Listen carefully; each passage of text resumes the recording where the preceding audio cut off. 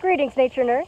Today on Fungi Friday, I am coming to you from the forest floor, per usual, and I am taking a look at some mushrooms today that are known as smooth chanterelles.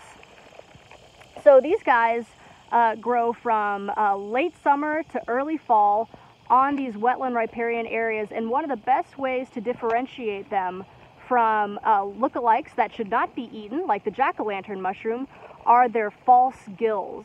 You can see how the gills look like they've sort of melted into the rest of the mushroom. They're not sticking out or, or protruding in the same way that true gills would in fungi. Now, smooth chanterelles uh, are edible. They don't have a particularly noteworthy taste, but whenever you pick them, they kind of smell like apricots whenever you first pick them. Uh, so that's another way that you can characterize whether you're looking at a smooth chanterelle.